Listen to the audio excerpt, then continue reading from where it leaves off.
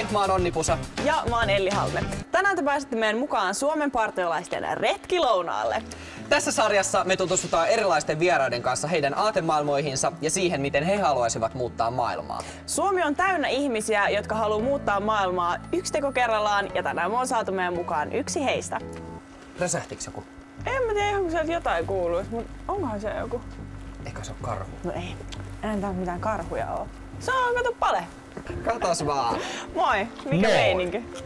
Kuinka sattuikaan? Heräilin just tosta kuusen juurelta. No ei vaan. Kiva nähdä. Kiva nähdä. nähdä. Onks, sul, onks partio jotenkin tuttu juttu tai onks sä, onks Oo, oo, mä oon vanha partiolainen Jaarlin pojat Hämeenlinna. Eiköhän lähetä meidän retkilounaan pari. Mennään ihmeessä. Jotain hyvää sakkaa tulossa. Ei ole mitään käsitystä mitä, mutta Tänään tehdään suppilovahvero keittoa. Meillä on suppilovahveroita ja sitten meillä on sipulia, valkosipulia, suolaa ja vähän creme pannun kanssa. Sienet. Pannaan yksi kasvisliemikuutio. Tänne voi nyt sitten laittaa soijakermaa, kermaa, creme freshia, mitä haluaa. Niin sitten tulee semmonen kermanen ja vähän ruokaisen. Sitten sekoitetaan. 10 minuuttia, niin se on valmista. Mulla ei ole mis- mitään käsitystä mihin me ollaan matkalla. Mutta tota, Siinä on se polku. Meitä, meitä kiinnostaa maailman muuttaminen ja, ja ne sun ajatukset, että miten, miten, miten sä haluaisit muuttaa maailmaa ja, ja tähän liittyvät asiat. Mikä sulla on se alkukipinä siihen niin kuin maailman muuttamiseen? Mi- mi- minkä takia sä oot lähtenyt tekemään vaikuttamista? No ketutushan on hyvä alkukipinä monenlaiseen asiaan. Että vaelluksella saa mukavasti potkua askeleeseen, kun aika vähän harmittaa. Ei vaan tota, kyllä pitää katsoa mun mielestä maailmaa sillä totuudenmukaisesti ja nähdä sellaisia epäkohtia, asioita, jotka voisi olla toisella tavalla, vaikka globaalilla tasolla tai sitten tässä meidän ihan omassa, omissa yhteisöissä. Ja sitten musta se on tärkeää myöskin puuttua niistä ja tehdä niitä ongelmia näkyviksi. Vaan silloin me voidaan niin kuin muuttaa asioita. Että jos me vaietaan ja kävellään vaan ohi, niin silloin me vähän niin kuin annetaan hyväksyntämme myös niille vääryyksille. Musiikki on se ehkä niin kuin, taide ja musa on niin kuin se mun keino Ruokaa. täällähän tuoksuu oikein hyvälle. Tervetuloa! Kiitos, kiitos. Mitäs meillä on tänään ateriana? No meillä on tänään, joo, ole hyvä istu. Meillä on tänään tota, sup, suppilovahvero keittoa. Lämpimät ruoksi on, ruoan nimi on caponata. Se on, se on sisilialainen munakoisen pata. Ja siihen tulee sipulia ja valkosipulia, minitomaatteja, varsiselleriä ja munakoisoa. Nämä kaikki laitetaan pataan. Sitten kun tomaatti ja selleri ja sipulit on muhinut tuo paras hetken, niin että ne on pehmeitä. Sitten sinne pannaan kikherneitä, kouranpohjallinen manteleita. Tulee vähän suutuntumaa. Pannaan vähän rusinoita. Siitä se lähtee kiehumaan ja sitten puolikas chilipalko on hyvä. Sitten tän annetaan muhia vielä sellaisen parikymmentä minuuttia. Ui. Noin. Isojen poikien annos, siinä on järkeä.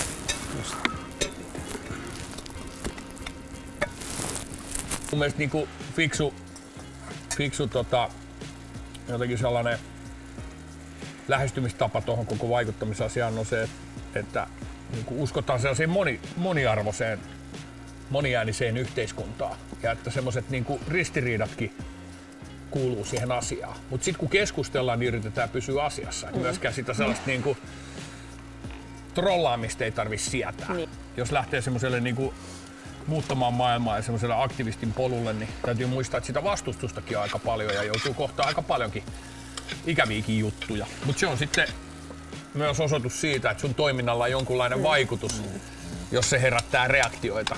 Kyllä mä luulen, että niinku se on sellainen keinovalikoima, että meidän pitää niinku kannustaa ihmisiä toimia koko, koko sillä spektrillä jotenkin eri tasoilla. Että tota. Ja silloin se on hirveän tärkeä myös tämmöinen niinku pienen piirin jatkuva niinku jotenkin keskustelu ja se, se niinku välittömästi siihen omaan yhteisöön. Et kaikki voi, kaikki voi niinku toimia niillä omilla resursseilla ja omilla voimavaroilla. kyllä mä niinku oikeasti uskon, että, että se idealismi on se todellinen polttoaine, millä asioita saadaan aikaiseksi tässä maailmassa. Se on niinku kaiken aktivismin niinku semmoinen tausta siellä sen ketutuksen lisäksi, millä niinku asioita saadaan aikaiseksi. Ja ihmisellä on kyky niinku ajatella taiteilijoilla on kyky, mutta kaikilla ihmisillä on ky- kyky niin kuin ajatella parempi ja mennä kohti sitä. Keitetäänkö kahvi? Keitetään Joo. Joo, näitä ei ehkä 2040 enää keitetä. Eli Keitetään, per, keitetään kokemuksia. perinteiset pannukahvit. Näin tehdään. Eli tota... Sitten tehdään omena jälkiruokaa. Me tarvitaan Granny Smith omena mielellään, koska se on kova, se ei hajoa tonne pannulle. Kaurahiutaleita, pikakaurahiutaleet kypsyy nopeammin, kanelia, jotain nestettä. Meillä on tällä hetkellä alkoholitonta vaaleaa luomuklögiä ja pikkasen rasvaa. Lohkotaan omena paistumaan. Sinne pannaan maustaa kanelia, pikakaurahiutale pussi. Pannaan sitä tänne pannulle ja vähän nestettä perään. Eli keitetään omenan kanssa kaurapuuro. Sitten kun pikakaurahiutalle on kypsää, niin tää on syömä valmista. Tässä ei kauaa mene. Mua kiinnostaa, miten joku pitää päänsä kylmänä ja selvänä niin kuin aktivistisessa ahdistuksessa. Siis hetken, miten sä, sä kirjoitat biisejä? No mä kirjoitan biisejä joo. Mut se, sehän on niinku, totta kai se on ehkä mun valitsema aktivistinen tie, mutta, mutta se on myös vaan se terapia. Mä teen niitä biisejä. Ja täytyy sanoa, että ei kaikki mun biisit ole mitään sellaisia kannanottoja tai, tai tota, yhteiskunnallisia mutta näyttää siltä, että useimmat mun niin kuin isoimmista biiseistä, hiteistä on sellaisia, mitä, mihin ihmiset tarttuu. Että tää niin kuin biisintekijän ammattihan on siitä mielenkiintoista, että täällä mä yksin istun ja väännän näitä. Mm. Ja sit mä nakkelen niitä tonne väkijoukkoon. Ei mitään vaikuta.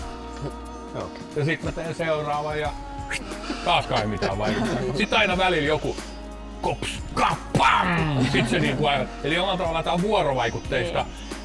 Mä voin tietysti tehdä valintoja siinä, mistä, biisejä, mistä aiheista mä kirjoitan biisejä ja muuta. Ja tota, minkälaisia asioita mä teen.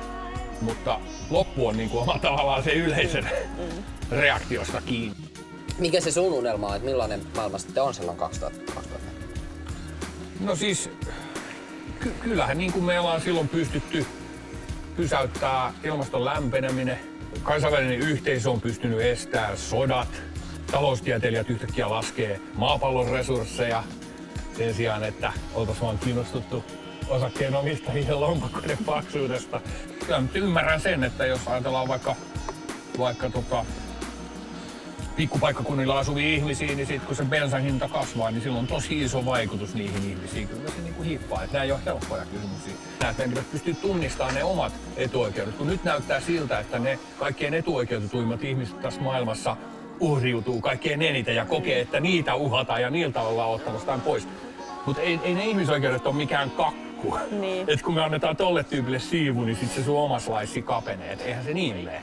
Vaan meidän pitäisi joku semmoinen perusarvo pohja luoda, että okei, lähdetään liikkeelle nyt tästä, että jos se nyt vaikka esimerkiksi potkittaisi ketään, niin eikö se olisi niin kuin ihan jees? Se ei tarkoita, että kaikkien pitäisi lähteä tuonne barrikaadeille tai, tai ryhtyä aktivisteiksi, mutta me voidaan tehdä niin kuin tällaisia tietoisuuteen arvomaailmaan liittyviä asioita. Ja tässä ajassa on mun mielestä niin kuin poikkeuksellisen hyvät olosuhteet luoda sellaista yhteiskuntaa, missä niin pyritään hävittämään kaikenlainen syrjintä. Ja, ja sen takia meidän pitää kiinnittää huomiota siihen, minkälaisia sanoja me käytetään, miten me puhutaan. Meidän pitää keskustella Afrikan tähdestä, tiedätkö, vaikka se jonkun mielestä tuntuu nipotukselta ja turhalta. Mutta on osa niitä prosesseja, missä me ymmärretään toisten ihmisten asemaa.